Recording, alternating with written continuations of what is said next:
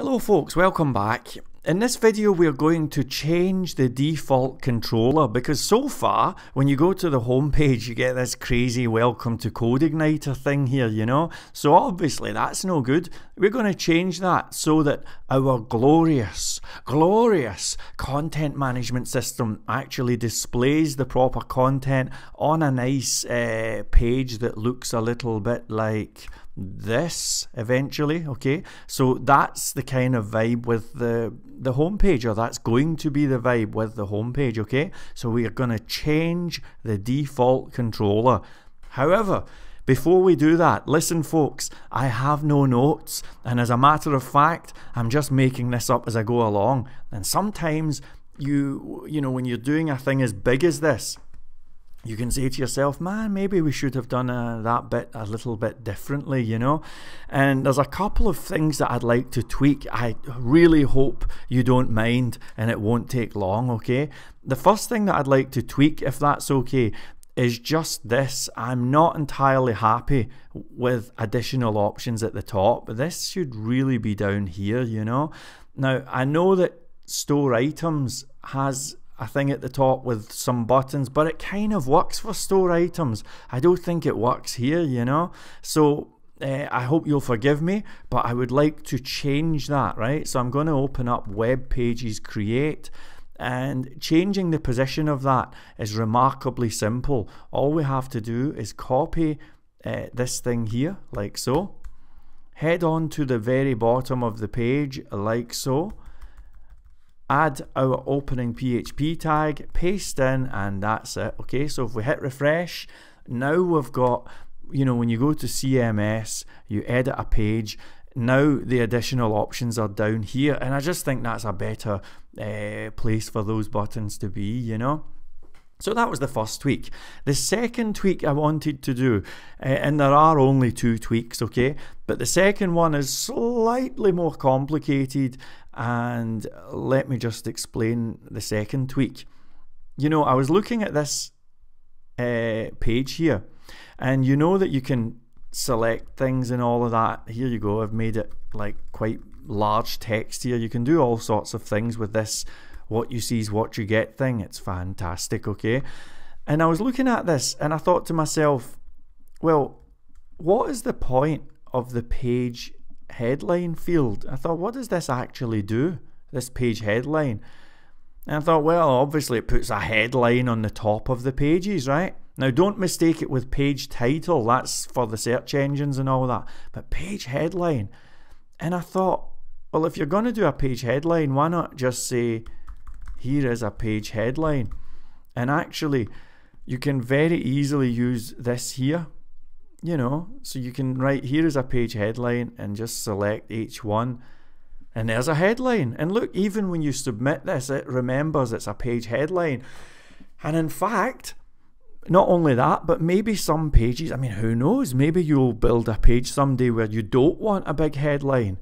And the more I thought about it, the more I thought this is actually uncool. I don't think we need this, so I do hope you don't mind, but I'm going to remove this page headline thing completely, okay? It will only take two minutes, just relax. Here's how we do this. We go into the page uh, structure, we select headline, page headline, we hit drop, okay? I've now removed it from the table, it's as simple as that, folks. Then we go to the web pages module and we do a search for page headline, you'll probably find it's in three different places or three different files. So I'm just going to search for page headline. Here it is here.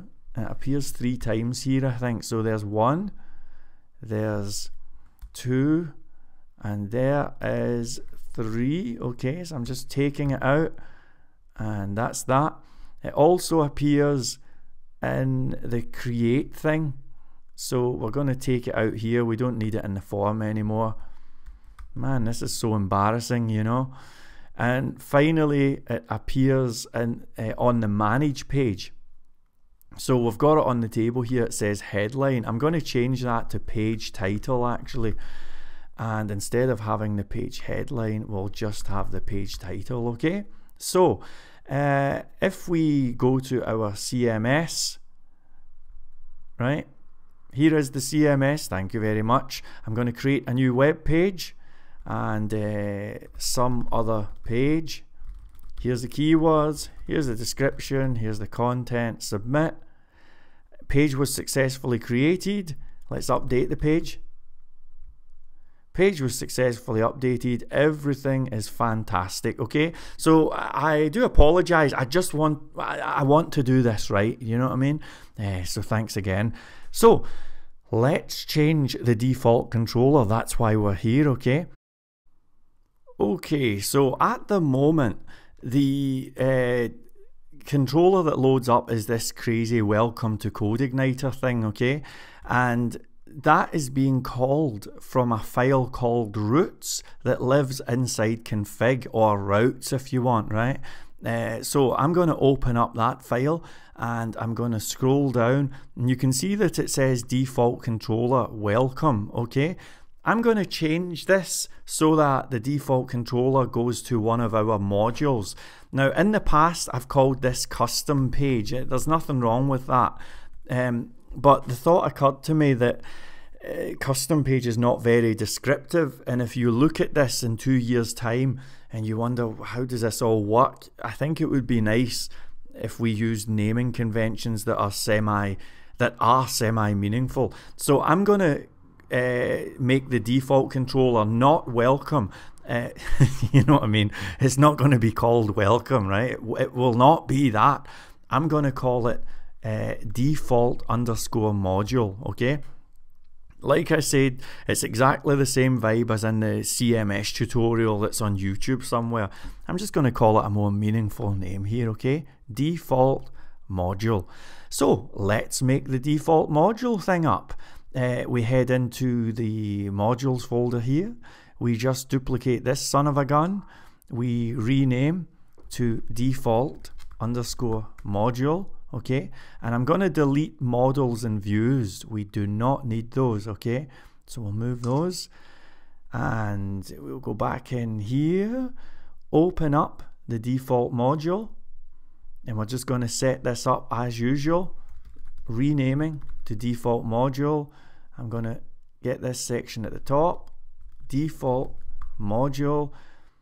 Okay we'll delete all of this stuff out and in fact, let's be super, super cool and leave a little comment. This is this is the module that loads by default, okay? And we're going to add a little function in here called index, like so. By the way, the thoughts just occurred to me that maybe I should have done that with these. I don't know. Anyway, it doesn't matter. Let's not worry about that. Um, echo this is the default module. Okay, so if we now refresh this page here, you'll see that it now goes to the default module, okay? We want this to work for all of the stuff that's on the content management system. Um, and as a matter of fact, even if someone does an error like this, we actually, believe it or not, uh, would like this to be handled by the default module. We're using modules here, it's kind of a cool vibe. So, although it seems a bit crazy, I'm going to ask you to copy this default module thing into the 404 override, okay? Now, I know that seems a bit strange and you're like, man, what's going on? But stay cool, stay cool. There is a method behind the madness. Just trust me, okay? So we want default module, default module, save, and if we refresh the junk page, it still goes to the default module. We have a whole load of things going to the default module. Make no mistake, store items is still going to load as normal, but at least we now have this default module ready to rock.